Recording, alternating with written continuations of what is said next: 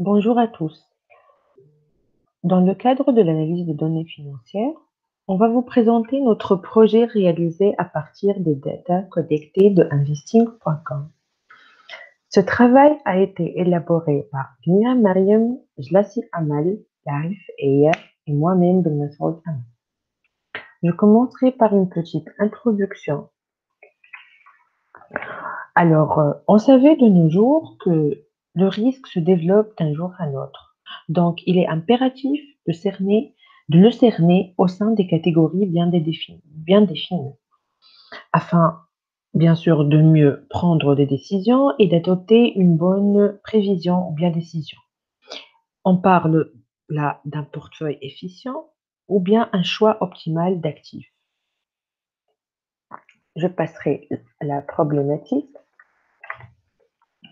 Alors, le risque, bien qu'il est présent toujours, un investisseur doit prendre, euh, doit optimiser son portefeuille.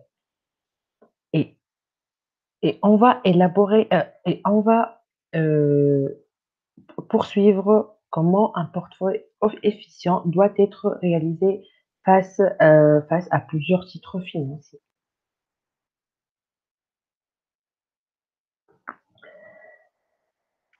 Je traiterai quelques notions de base, comme le portefeuille d'actifs, le rendement risque, la volatilité et l'espérance corrélation. Je commencerai par un actif, un, portefeuille d'actifs, qui est un grand euh, portefeuille de documents. C'est un portefeuille de, de placement qui contient les actions, les obligations, les actifs financiers, qu'un investisseur peut détenir, y compris bien sûr la trésorerie et les, propriétés. Le rendement et le retour sur l'investissement obtenu par rapport à l'investissement précédemment effectué. Il s'exprime en pourcentage et il permet d'évaluer la, la performance d'un investissement. Le risque, c'est la perte financière liée aux fluctuations des cours des titres financiers qui peuvent évoluer défavorablement pour un investisseur. Plus la volatilité est élevée, plus le rendement est élevé. Et là, pas de rendement sans risque. En calculant chaque rendement d'actifs de chaque entreprise, on choisit celui le plus élevé. Je passerai maintenant au, euh, code, euh, au calcul du rendement réalisé au sein de, différentes entreprises, alors euh, euh, plus le rendement est élevé, meilleur est le rendement. Je passe maintenant à la volatilité. Alors, cette volatilité mesure la dispersion moyenne de rentabilité autour de la moyenne. Elle prend toutes les, rentabilités positives ou non, extrêmes ou non, et elle mesure le risque moyen. Comme l'illustrent ces deux cours, le cours de l'action 1 a une amplitude de variation plus faible que le cours de l'action 2. Et donc, la volatilité de l'action 1 sera ici plus faible que la volatilité de l'action 2. Comme il illustre ce code,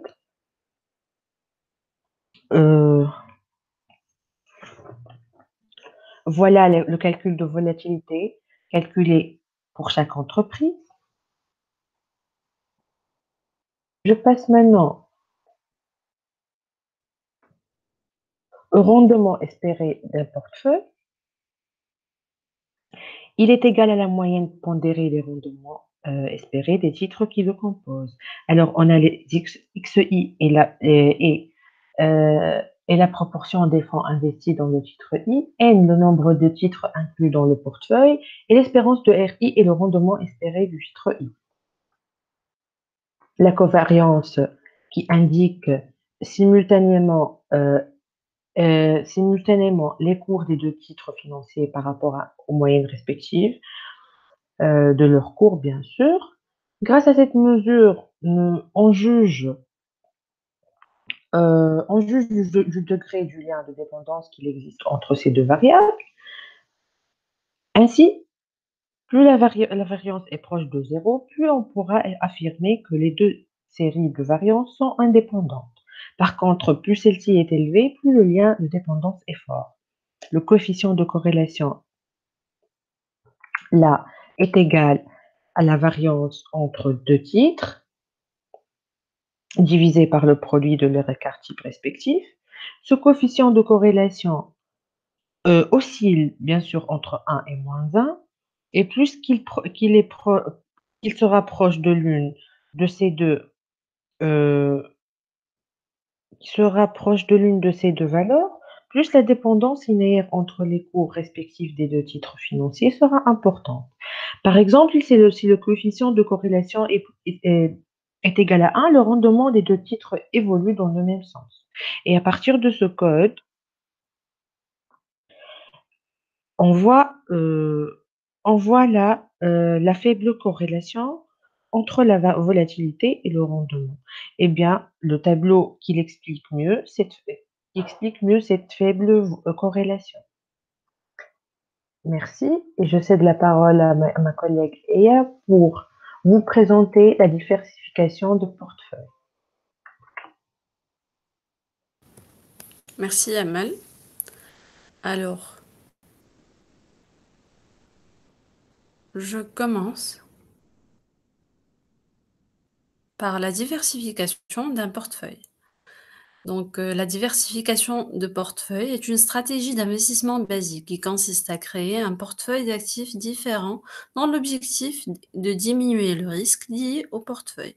La diversification n'est pas possible que si les variations de prix des actifs ne sont pas entièrement corrélées, c'est-à-dire que leurs variations ne sont, ne sont pas égales en permanence.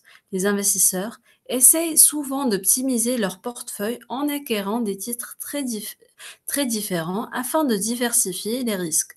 Par exemple, il peut être intéressant de combiner des actions d'une entreprise agroalimentaire ou, ou, de défense à des entreprises plus volatiles telles que des, des sociétés du secteur des nouvelles technologies ou du secteur pharmaceutique. Next. Alors, le portefeuille idéal est avant tout un portefeuille diversifié. Donc, la diversification ici, c'est en fonction des secteurs d'activité. On trouve le secteur technologique, banque, santé, industrie, énergie et les biens de consommation. Je passe au type de mesure de risque. Un investisseur, une fois le principe de diversification assimilé doit comprendre que même si la diversification permet de baisser le risque, cette dernière doit être optimisée de façon à la rendre efficiente. plusieurs mesures de risque peuvent être considérées par les modèles d'optimisation de portefeuille. Alors je passe.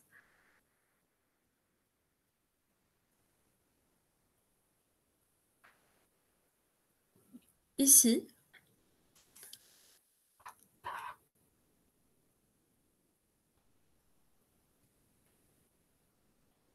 Le schéma précédent euh, représente l'ensemble des, portefeuilles disponibles pour un nombre X d'actifs. L'investisseur doit choisir son portefeuille dans ce compris sur la ligne AD qui forme la frontière efficiente, efficiente de Markowitz.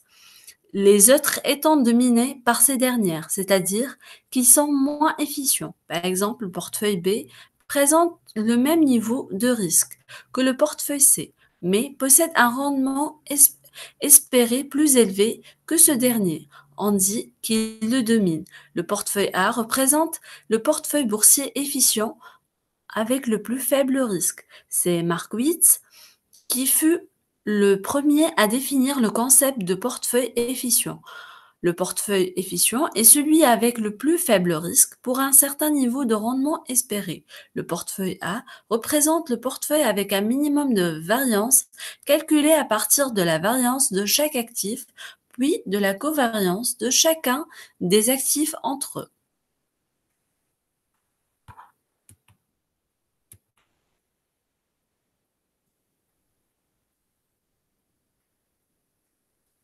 Je passe.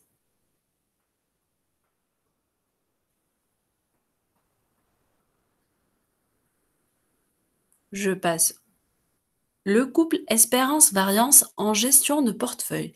La théorie du portefeuille de Markowitz ne prend en compte que le rendement espéré et le risque mesuré par la standard déviation. Elle pousse donc l'investisseur à déterminer le meilleur rendement espéré pour un certain niveau de risque sur un ensemble d'actifs, déterminer où le plus faible niveau de risque possible pour un rendement donné.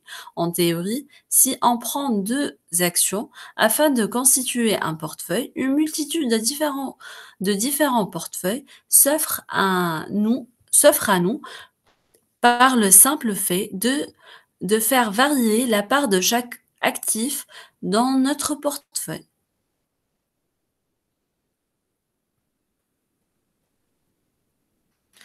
Euh, ici, comme vous le voyez dans le schéma, euh, A, B et C représentent l'ensemble des portefeuilles disponibles.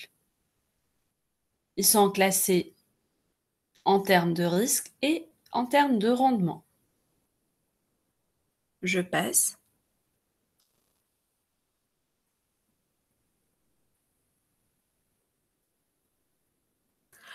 Comment alors sélectionner un portefeuille selon ses préférences? Le, modèle de Markowitz ne définit pas un unique portefeuille optimal, mais génère un portefeuille, euh, mais génère pardon une frontière efficiente comprenant l'ensemble des portefeuilles optimaux. C'est à l'investisseur de choisir son portefeuille optimal.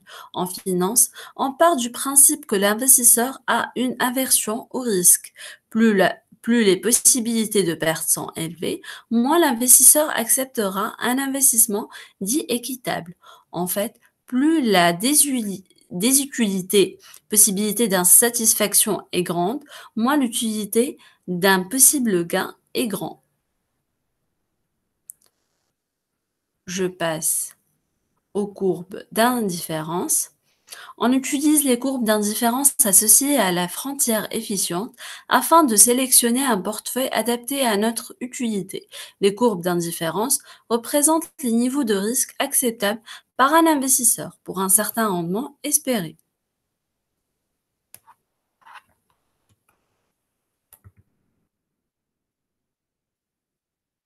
Je vais expliquer les graphes. Le schéma A euh, représente les courbes d'indifférence. La forme de courbe dépend de l'aversion au risque de l'investisseur. La courbe d'indifférence supérieure est toujours préférable à celle inférieure. En effet, courbe, la courbe est éloignée de l'axe horizontal, plus l'utilité est élevée.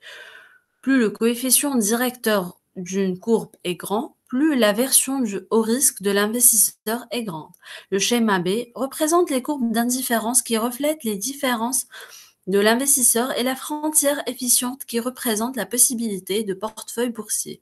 Le point A sur le schéma A représente le portefeuille efficient qui est présent sur la droite d'utilité U2 et sur la frontière efficiente.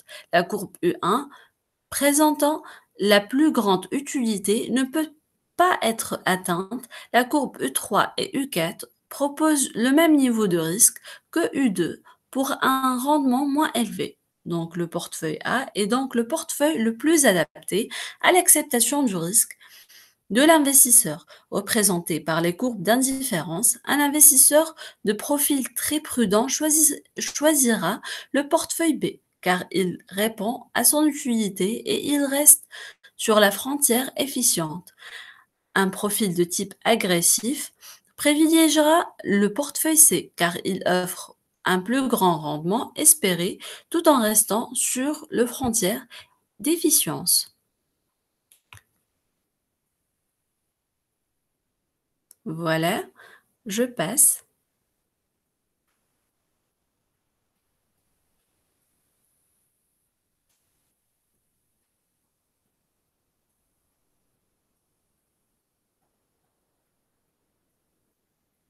Et je termine par une conclusion où on trouve un portefeuille qui est bien diversifié euh, selon différents secteurs tels que les services publics, l'énergie, la télécommunication, la santé, l'industrie et la consommation de base.